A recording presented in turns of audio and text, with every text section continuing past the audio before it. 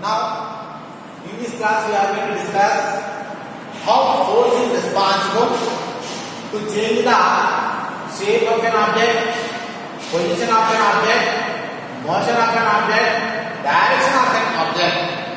And this is called as the effects.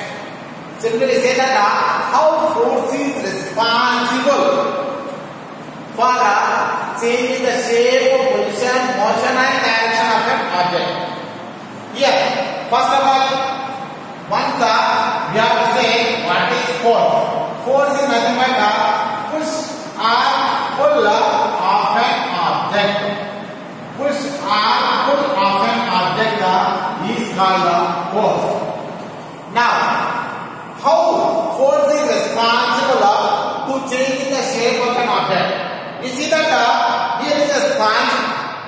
On this sponge, I am applying some amount of uh. You see that uh, by applying some force on uh, sponge, uh, you are going to observe some change in the shape of an object.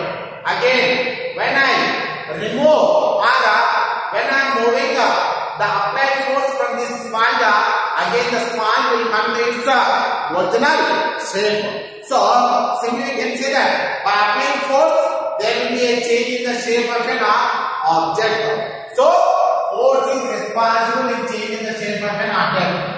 You see that? Uh, now, here is a chalk piece map. On this chalk piece, I am applying some amount of uh, force. By applying some amount of force, I am drawing the chalk piece in the upward direction. That means uh, you are going to observe some change in the position of an object. How? Once again, I will tell you that uh, let us imagine that uh, here is a table. On this table, uh, I am applying some amount of force. What you are going to observe? You are going to observe that uh, the table changes uh, changes its uh, position from one place to another place.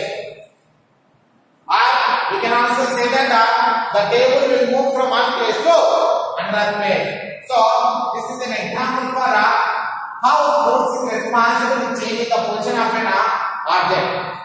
We see that uh, now motion of an object.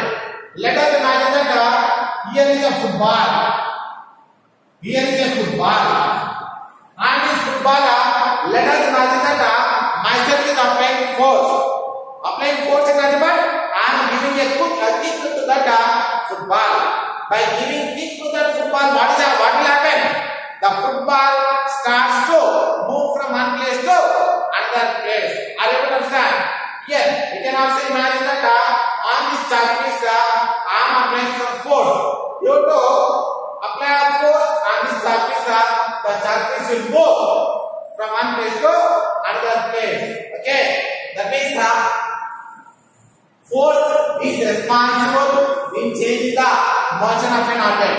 Motion is nothing but movement. Movement is nothing but moving from one place to another place. Now, direction of an object. Suppose, let us imagine that here is a table. Now, on this table, I am applying a force of uh, 20 newtons. Then what will happen? Due to the 20 newtons of force applied on this table, the table will move in this uh, direction. Suppose instead of uh, 20 newtons of force applying in this direction, uh, suppose if uh, 20 newtons of force is direction, then what will happen?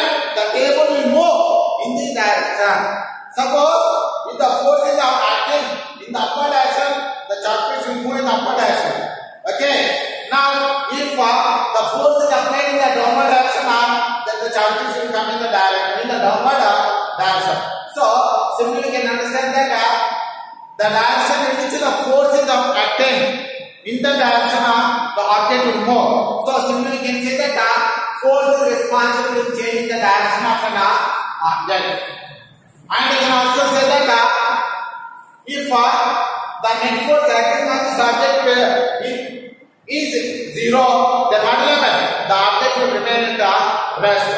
If the net force acting on this object uh, is something, then uh, the object will move in the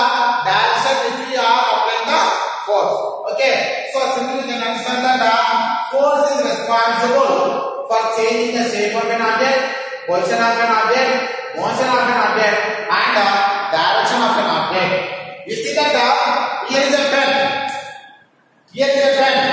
Then what I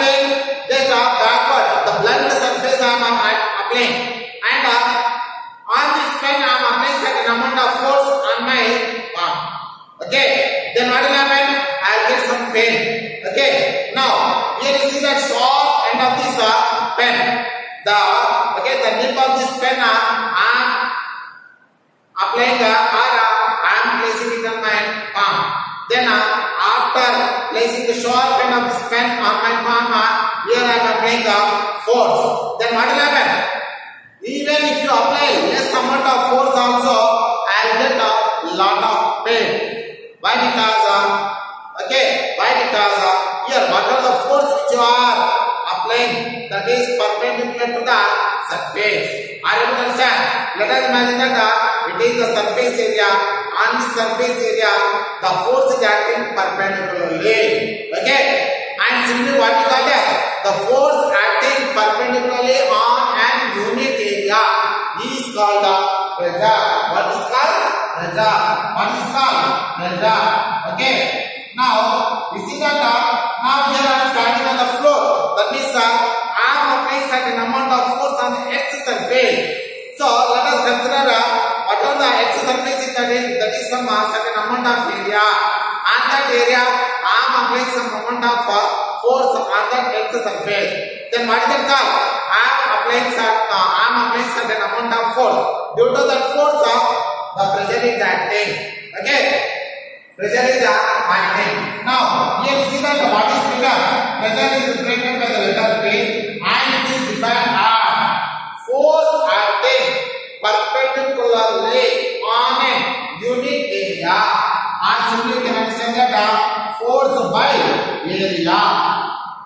Force by area. Are you able to understand? Pressure is defined as force acting per unit area is called a pressure. Okay. Now, if uh, area is uh, more, the force acting will be less. Force acting will be less. Okay. If area is small, even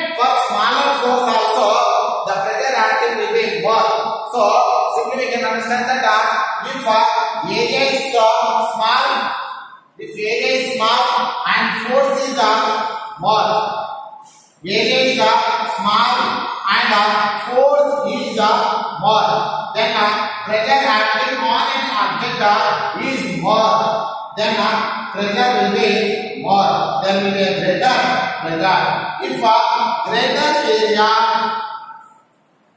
smaller force and the pressure acting on that object will be less. So simply say that uh, less pressure, less pressure. Okay. So because of this reason only, what are the knife which we use for cutting of vegetable uh, with the blunt surface, blunt surface of the knife uh, will not use to cut the vegetables. We use the sharp end of the knife to cut the vegetables. Right? Uh, just uh, less uh, due to less force only we can apply a large amount of uh, pressure. Are you understand? By applying large amount of pressure, easily we can cut the vegetables. So simply can say that pressure, pressure is defined as the force acting per unit area. Force acting per unit area. Now here we are going to discuss uh, the units of pressure in CJ system. The units of force? Dynes. As you know that of area in system? Space centimeter. Then simply say that uh, units of pressure in CJ system is uh, dyne per space centimeter. And in Indian system, what are the units of force? Newtons. What are the units of area in Indian system? Square meters. And uh, okay, units of pressure in Indian system is equal to Newton per meter square. And one Newton per meter square is equal to one Pascal. Pascal. Okay. Once again, I am recalling you. What are the effects of force? Okay, force can change the shape of an object, position of an object, motion of an object, and direction of an object. And also we have learned what is pressure. Pressure is defined as the force acting per a unit area. Force always perpendicular to the unit area or surface area. If a smaller area, greater force or then greater pressure. If a greater area, smaller force, less pressure.